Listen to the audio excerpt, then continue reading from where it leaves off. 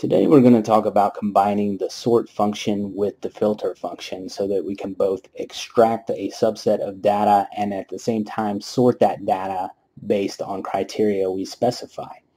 So in this example here we have payment history for some accounts and the first thing we're going to do is insert a simple one criteria filter function and shortly after I'll insert a sort function on top of that filter function.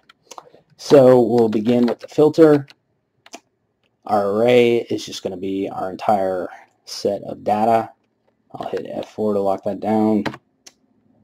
This next argument include is our criteria. Well, let's just say we wanted to filter on anything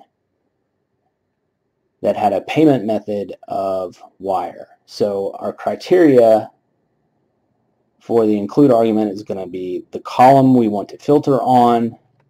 We'll hit F4 to lock that down, and then we're going to say equals to our criteria.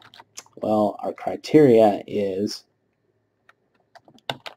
wire.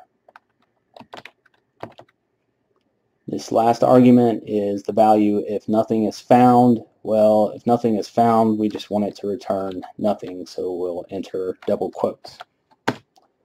So you can see this pulls back anything that was a wire in our data set.